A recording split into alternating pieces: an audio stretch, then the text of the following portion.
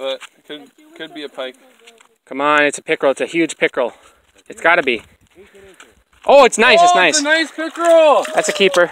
Woo, baby!